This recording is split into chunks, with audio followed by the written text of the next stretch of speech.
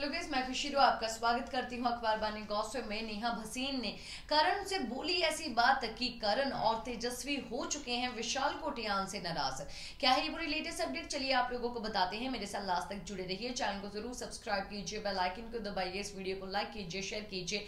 क्या नेहा भसीन की बातों के ऊपर करण कुंद्रा को यकीन करना चाहिए? पूरी अपडेट जानने के बाद मुझे ज़रूर बताइए और मुझे इंस्टाग्राम पर भी फॉलो ज़रूर कीजिए।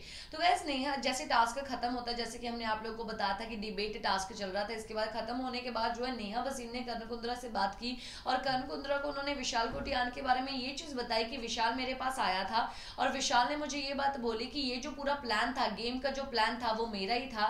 मैंने सब लोगों को सेव कर लिया और मेरा ही अकेले का प्लान था कि मैं राजीव को जेल भेजू। और मैंने ये पूरा प्लान किया और उस प्लान में जो है ये सब लोग घूमे। इस बात के बारे में जानने के बाद जो कर्ण काफ़ी ज़्यादा नाराज़ हुए विशाल कोटियान से और यही बात जो है उन्होंने तेजस्वी प्रकाश को बोली कि नेहा ने, नेहा से विशाल ने बात की और विशाल का ये पूरा प्लान है वो चीज़ ये बात बोल रहा है। जहाँ पर तेजस्वी बोलती कि ऐसा तो कुछ नहीं है, विशाल ऐसी तो बात कर नहीं सकता।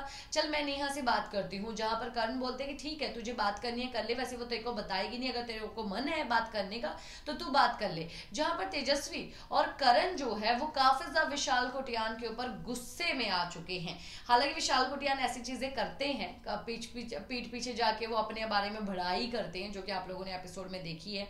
हालाँकि मुझे ये चीज़ बताइए कि कल का एपिसोड आप लोगों को कैसा लगा? ज़रूर कीजिए कमेंट इसी के साथ मैं लेती हूँ इजाज़त। नमस्कार।